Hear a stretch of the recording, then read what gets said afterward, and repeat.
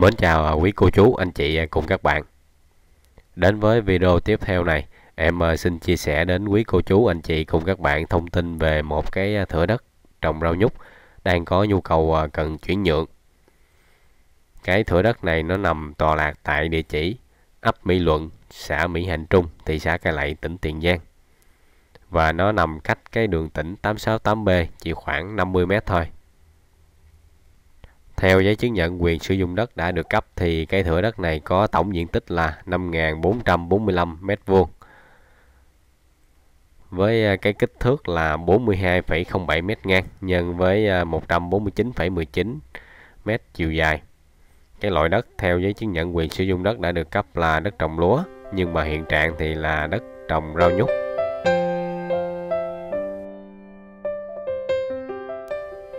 Còn ở đây là cái sơ đồ vị trí của thửa đất. Theo cái sơ đồ này thì quý cô chú, anh chị cùng các bạn có thể nhìn thấy cái thửa đất nó nằm cách cái đường tỉnh 868B đang à, thi công chỉ khoảng à, 100m thôi và nó nằm cách cái cầu 10 xe là khoảng à, 400m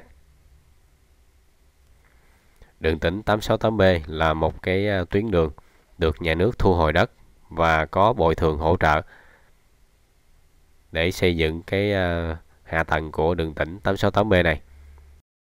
Tuyến đường tỉnh 868B sẽ giúp cho cái lượng xe lưu thông từ thành phố Hồ Chí Minh về các tỉnh miền Tây không đi vào cái trung tâm của thị xã Cai Lậy. Từ đó giúp đảm bảo các vấn đề về giao thông trong cái khu trung tâm của đô thị tại thị xã Cai Lậy, tỉnh Tiền Giang. Thửa đất này có phần mặt tiền, tiếp giáp với một con đường nhựa rộng 3 mét và đối diện với con kênh ban chón. Trên video đây là hiện trạng của cái con đường nằm à, ở phần mặt tiền của thửa đất. Thửa đất này cũng có phần mặt tiền, nhìn về hướng Tây Bắc. Và em à, tiếp tục di chuyển quay ra cái phía nằm à, đối diện với con kênh ban chón để quý cô chú, anh chị cùng các bạn xem rõ hơn về cái à, hiện trạng xung quanh cái thửa đất này.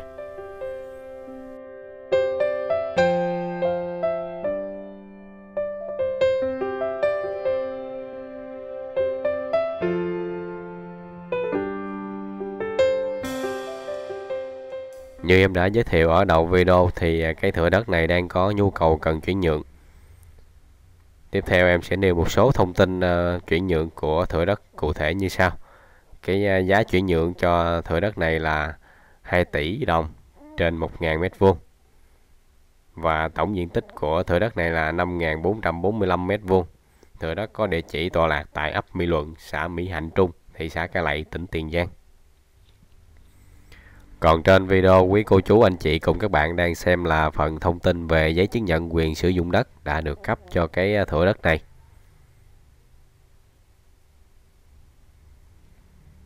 Cái sơ đồ nằm phía bên tay phải là sơ đồ về vị trí và hình thể của thửa đất.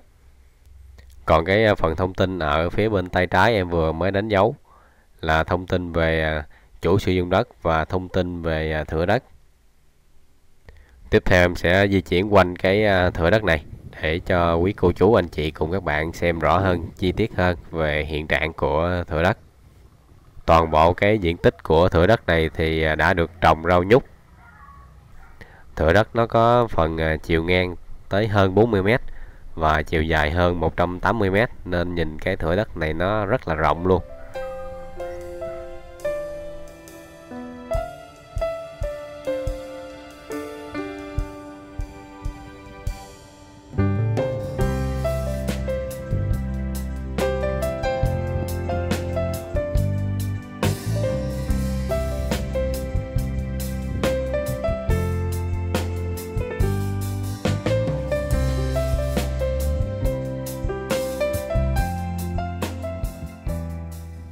Dọc theo cái bờ ranh của thửa đất này chưa có được uh, xây dựng hàng rào bảo vệ.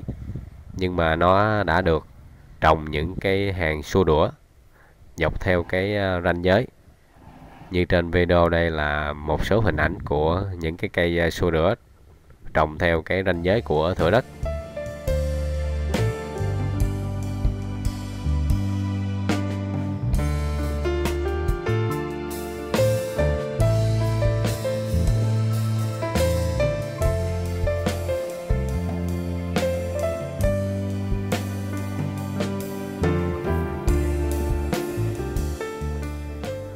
Em ờ, xin nhắc lại thông tin về chuyển nhượng của thửa đất để quý cô chú anh chị cùng các bạn ờ, thuận tiện theo dõi. Đầu tiên là về ờ, giá chuyển nhượng thì cái thửa đất này được chuyển nhượng với giá bán là 2 tỷ đồng cho 1.000 mét vuông. Tổng diện tích của thửa đất là 5.445 mét vuông. Thửa đất có địa chỉ tọa lạc tại ấp Mỹ Luận, xã Mỹ Hạnh Trung, thị xã Cai Lậy, tỉnh Tiền Giang. Nếu như quý cô chú, anh chị cùng các bạn có quan tâm tới thửa đất này, thì có thể liên hệ với chị Thuyền thông qua số điện thoại em đã đặt trên video.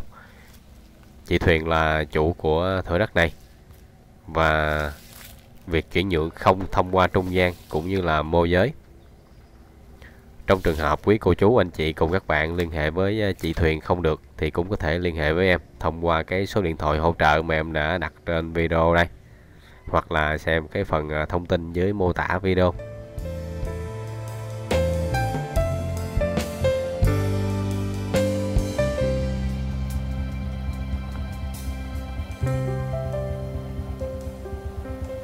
Ngoài cái hiện trạng là đất trồng rau nhút thì ở phần mặt tiền của thửa đất này có trồng được một hàng cây mít thái được 20 cây đang cho thu hoạch. Từ ngay vị trí của thửa đất đi về hướng đông khoảng à, 100 m thì à, quý cô chú anh chị cùng các bạn sẽ bắt gặp cái giao lộ với đường tỉnh 868B. Và em đang di chuyển đến con đường tỉnh 868B để à, quý cô chú anh chị cùng các bạn xem rõ hơn về cái hiện trạng của tuyến đường này. Như em đã giới thiệu ở đầu video thì cái tuyến đường này vừa mới được nhà nước thu hồi, bồi thường và hỗ trợ để xây dựng đầu tư cái hạ tầng. Nên hiện tại nó đang được san lấp mặt bằng, xây dựng cái hạ tầng.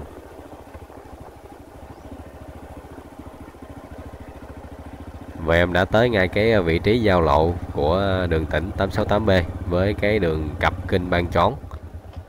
Cái hướng mà em đang nhìn trên video là hướng đi về ờ, thành phố Hồ Chí Minh.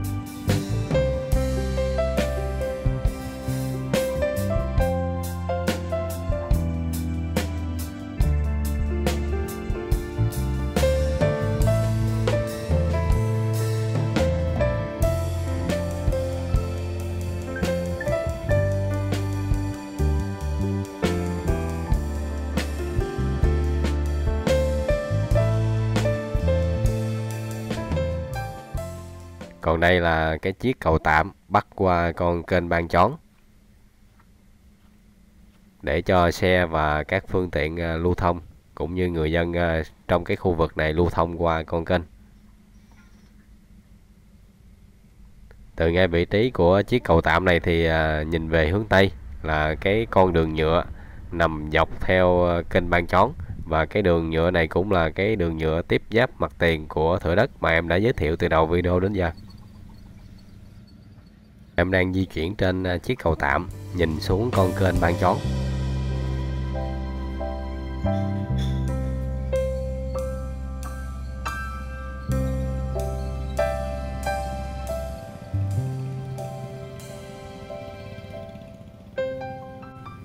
Video của em à, kết thúc tại đây. Cảm ơn à, quý cô chú, anh chị cùng các bạn đã xem video và theo dõi ủng hộ kênh của em. Mong nhận được thêm nhiều sự ủng hộ của quý cô chú, anh chị cùng các bạn. Và đừng quên nhấn đăng ký để ủng hộ kênh của em và cập nhật được những cái thông tin về các video mới nhất